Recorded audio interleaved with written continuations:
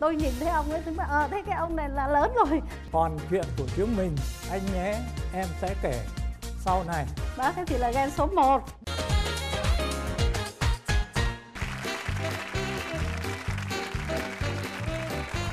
Thôi, chào cô dạ, chú. dạ, dạ con ờ, xin chào hai bác. Dạ, xin Dạ. chào à, quốc thuận xin chào Dạ, hồng vân. dạ. tôi là nguyễn lịch sa và năm nay là 67 tuổi. Dạ. Dạ. thế còn bác tôi là tên là Nguyễn Khánh. Tôi sinh năm 1945 tôi ở Hà Nội. Dạ bác Khánh năm nay như vậy là sinh 45 năm nay là 72 tuổi. 72 Vâng. cái lệ hai bác bây giờ là mình kết hôn được bao nhiêu năm rồi hai bác? Năm nay là 43 à, 43, 43 năm, năm rồi. 43 năm. Ồ. vậy thì ờ, trước đó là hai bác quen nhau ở Hà Nội hả bác hả? Dạ. Và- quen nhau thì ờ, rất đơn giản bởi vì chúng tôi là cùng một ngõ mà nhà đối diện.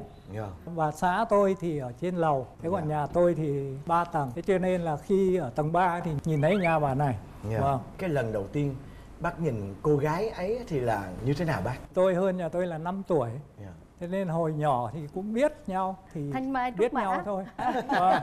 nhưng mà như thế có nghĩa là mình không có cái ấn tượng lần đầu gặp nhau mà tại mình biết từ nhỏ rồi Vâng. cho nên là chắc là chỉ có cái cảm xúc mà lúc mà từ bạn bè mà chuyển sang tình yêu á cô Dạ, ha đó.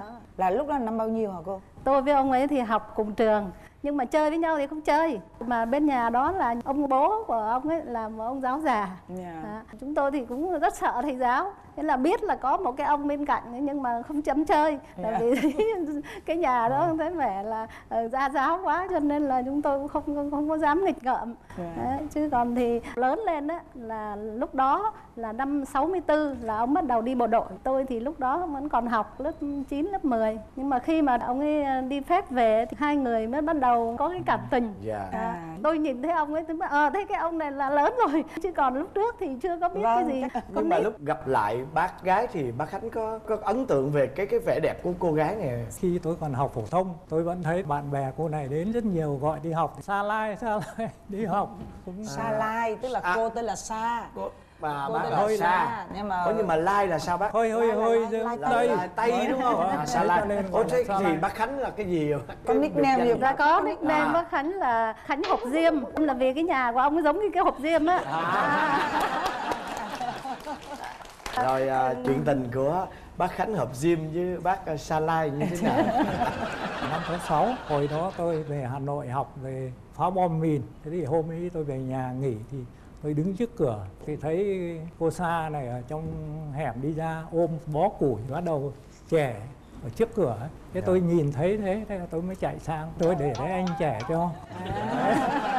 Quá lãng mạn gì nữa đúng không? Chắc có lẽ là từ Dạ. cái lúc đó là bác gái nhìn thấy có sự gì đó rất là đặc biệt đúng không bác Sa? Dạ đúng rồi. Dạ. Bác Khánh đó chắc bác Sa xinh lắm hả bác? Cái hồi đó thì tôi nhớ là đi học về thì là hay mặc bộ quần áo đen mà da lại trắng bóc mà mắt lại hơi biếc biếc mà tóc lại hơi hoe nâu. Nói chung là cũng cũng hơi bị ghê hơi bị ghê bác vậy thì à, từ lúc mà trẻ củi giùm cho bác đó Dạ. à, thì à, cho đến khi mà hai bác à, yêu nhau đó là bao lâu bác? Tôi nhớ là năm 67 sau khi tôi nhận lệnh đi học ở Liên Xô ấy, thế thì đêm hôm trước là lên đường ấy, thì cô ấy mới mang sang tặng cái món quà. Thì trong đó có một cái khăn thêu là chữ kỷ niệm và một cái thiếp và cuốn sổ, có bài thơ thuyền vào biển của Xuân Quỳnh. Sau khi đọc xong thì phía dưới lại chua một câu, còn chuyện của chúng mình, anh nhé, em sẽ kể sau này. Đúng không? còn cái thiếp kia ấy thì đề là thân tặng hai chấm xuống dòng, người anh, người bạn người đồng chí và phía dưới thì cô ấy chấm chấm chấm, chấm một lô chấm. Là vài người Ờ, gì nữa đúng không? không biết người gì người hàng xóm dạ. là người gì. Bác à, cho con hỏi luôn là đến bao lâu thì hai bác mới à, đám cưới? Năm 73 tức Dạ. là hồi tôi 28 tuổi mà nhà tôi là 23 ba. Ba. Vâng. bốn. Thì bắt đầu tiến tới hôn nhân. Lúc đó thì con không biết là à, đám cưới có mời thiệp cưới rồi. có mời thiệp cưới. Dạ. con Mà không hiểu mừng- cái thiệp cưới lúc đó như thế nào. À, thiệp cưới đơn giản. à. Tôi có vàng thiệp cưới theo Ô trời ơi. Tôi có cái thiệp cưới nữa này dạ. Lấy ơi anh bộ đội mà lưu giữ. Ôi dồi hồ ôi. sơ tài liệu. Trời ơi đây đây là ảnh cưới hồi đó đây. À, Trời ơi chứ bố mẹ cháu là không có cái hình này luôn á. À đây. Bố này cũng có thiệp cưới luôn cưới á. trước. Đây Ừ. thấy chưa ở ngoài không có màu mè gì hết Không có nhưng mà bên hết. trong người ta có màu hồng.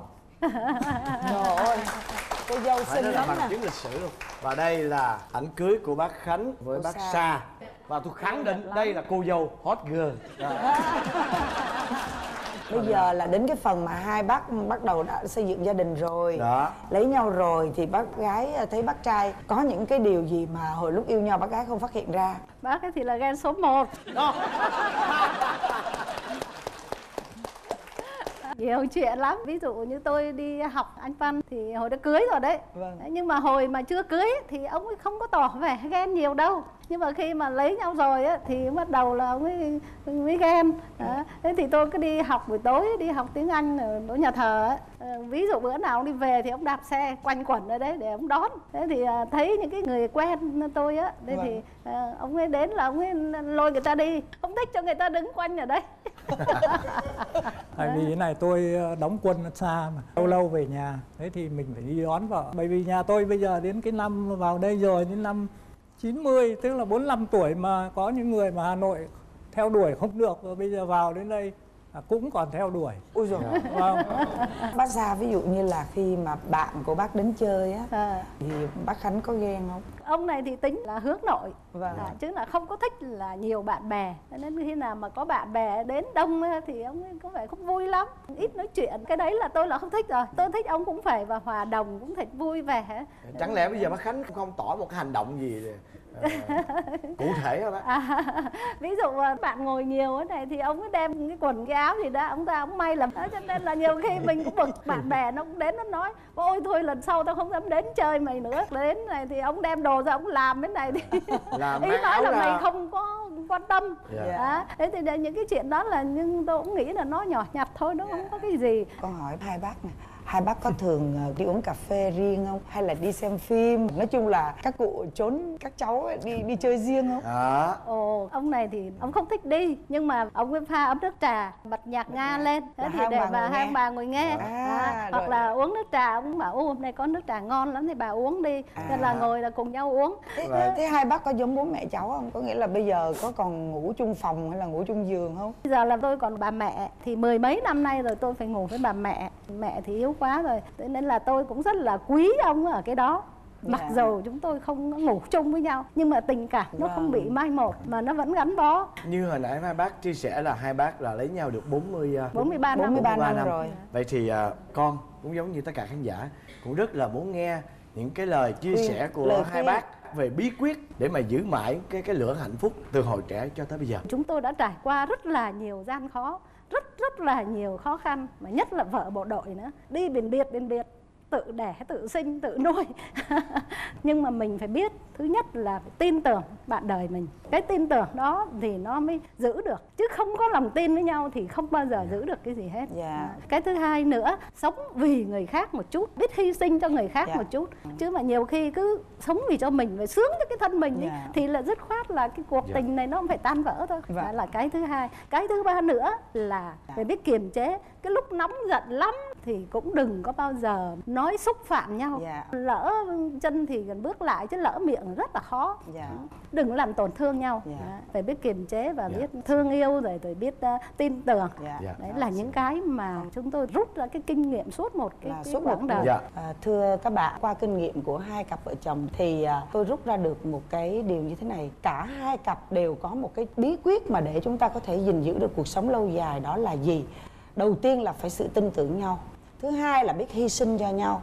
Thứ ba là phải biết tôn trọng nhau. Và thứ tư là biết bớt cái tôi của mình lại. Thì tôi nghĩ rằng đây là một cái bí kíp tương đối là đầy đủ để chúng ta có thể dựa vào bí kíp này chúng ta giữ gìn gia đình nhỏ của mình. Dạ. và À, rất cảm ơn à, dạ. hai bác ạ. Chúc Và hai xin bác chúc hai là bác ờ, năm mới. Năm sức khỏe. 2017 sức khỏe. Sức khỏe dồi dào và Dạ. mãi yêu, nhau như thế này. như thế này. Dạ.